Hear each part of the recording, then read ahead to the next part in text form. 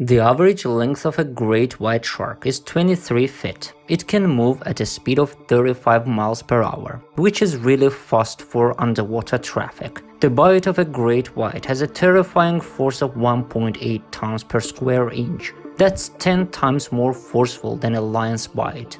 The basking shark is the second largest shark alive today. You don't have to scatter away as soon as you see this bug-sized giant. Basking sharks are gentle creatures whose diet consists of fish eggs, plankton, and other tiny organisms. Helicoprion was not only one of the biggest but also one of the most uncommon prehistoric sharks. It lived about 290 million years ago. These sharks got their name Helicoprion thanks to the highly unusual coils of teeth lining their jaws. But the largest of absolutely all the sharks that have ever lived on this planet was Megalodon. This monster shark controlled the oceans 26 to 2.3 million years ago. This shark got its name Big Tooth because of its terrifying long teeth. They ruled the seas for millions of years as one of the most fearsome predators on Earth, but new estimates suggest gigantic megalodon sharks were actually even bigger than previously thought, measuring up to 65 feet 19.8 meters in length rather than 50 feet 15.2 meters. Growing to the size of a cricket pitch, it was the most massive shark species to have ever lived and was three times the size of the today's largest great whites. The revised estimate came about when a school lesson went awry, leading to the creation of new equations based on the width of a megalodon's teeth rather than height. Victor Perez, lead author of the new study, was a doctoral student at the Florida Museum of Natural History when he challenged a group of students from California to a math exercise. It used 3D printed replicas of fossil teeth from a real megalodon, which dominated oceans from about 15 to 3.6 million years ago, and a set of commonly used equations based on tooth height to estimate the shark's size.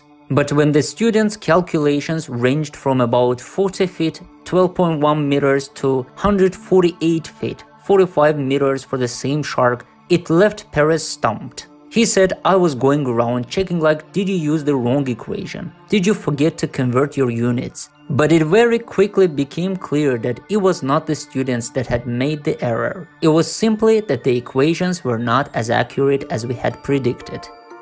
Scientists have been trying to calculate the size of megalodon sharks for more than a century, but the only known remains of the extinct species are fossilized teeth and a few vertebrae. As with other sharks, the rest of its skeleton was made up of lightweight cartilage, which decomposed shortly after death. However, tooth enamel for the megalodon, whose name means big tooth, preserves really well, Perez said, and because each one shed thousands of teeth during its lifetime, there are plenty of fossils to study. The most accepted methods for estimating the length of megalodons have used great white sharks as a modern comparison, relying on the relationship between tooth sizes to total body length. But the problem with that is, like in humans, the size and shape of shark teeth vary depending on where they are located in the mouth. So a researcher must first correctly identify the fossilized tooth former position in a megalodon's jaw. By measuring the combined width of each tooth in a row, they developed a model for how wide an individual tooth was in relation to the jaw for a given species.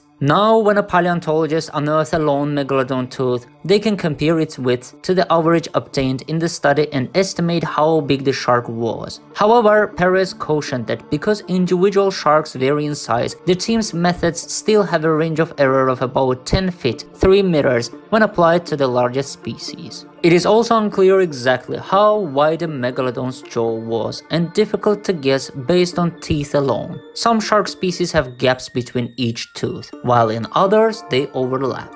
Even though this potentially advances our understanding, we haven't really settled the question of how big Megalodon was.